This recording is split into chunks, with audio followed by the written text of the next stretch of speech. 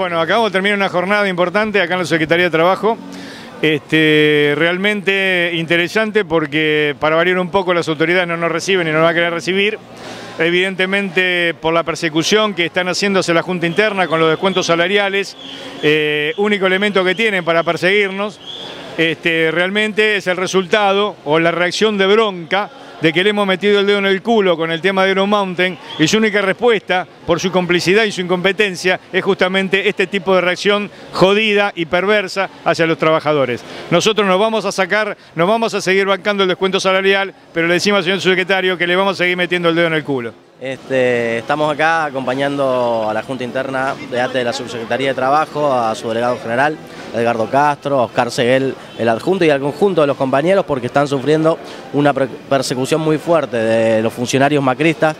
de la subsecretaría a través de su descuento salarial a casi todos los integrantes de la Junta Interna y también una persecución general, eh, no permitiéndole trabajar eh, con normalidad, incluso acusándolos con que no cumplen su trabajo cuando no es verdad, haciéndole sumario a Alejandra, que es otra de las delegadas. Bueno, una persecución global porque evidentemente las autoridades están cansadas que estos compañeros sean los únicos que levantan la voz y denuncian la verdadera incompetencia de esta subsecretaría, la complicidad de los funcionarios con todos los problemas que hay en la ciudad de falta de seguridad laboral, de habilitaciones truchas que se realizan, de negocios oscuros, y como los compañeros son los que denuncian todo esto públicamente, por ejemplo el caso Iron Mountain y las muertes que ahí sucedieron, ahora los castigan con eh, esta represalia de no pagarle el salario. Así que hoy vinimos acá, hicimos un acto, vamos a venir la semana que viene a hacer otro, en un rato junto a Alejandro Bodart, el legislador del MST, tenemos una reunión para planificar también cómo al interior de la legislatura eh, políticamente planteamos la necesidad de que se investigue todo esto y se termine con esta persecución. Tenemos también denuncias penales, denuncias de distintos tipos en la justicia y vamos a continuar por este camino. Así que todo nuestro apoyo a la Junta Interna, desde, en mi caso del MST, de la CTA Capital, y a seguir acá en la calle hasta ganar nuevamente esta pelea contra la persecución, que ya se la hemos ganado otras veces, pero en este caso esperamos volver a hacer. Bueno, una vez más, desgraciadamente tenemos que volver a esta subsecretaría de Trabajo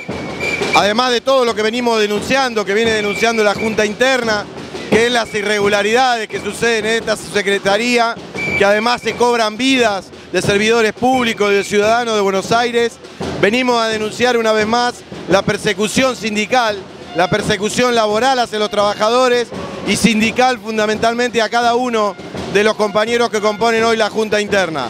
Eh, con el descuento de haberes ilegal que han producido en los últimos meses, y como mensaje a esta patronal decir que no nos van a quebrar, que vamos a seguir viniendo, que nos vamos a seguir fortaleciendo y que vamos a seguir luchando hasta que los compañeros tengan el sueldo como tienen que cobrar y que además los, derechos de los trabajadores de esta secretaría sean respetados de una vez por todas. Bueno, esto no es casual, ya hace tiempo que nos vienen persiguiendo, ya tuvimos varias veces, nos tocaron el sueldo, digamos, en mi caso particular tuve varios meses sin cobrar y ahora, bueno, ahora nos volvieron a descontar el sueldo, digamos que creemos que es una reacción eh, por las denuncias de Iron Mountain que no fueron, no están habilitadas, las actas desaparecieron, bueno, y un montón de denuncias que nosotros hacemos correspondientes a las obras en construcción, también eh, queremos informar de que acá el 80% del personal está totalmente precarizado, sueldos miserables y que cobran el día 10 o el 15 a más tardar, con un poco de suerte. Así que la gran mayoría del personal son todos contratados.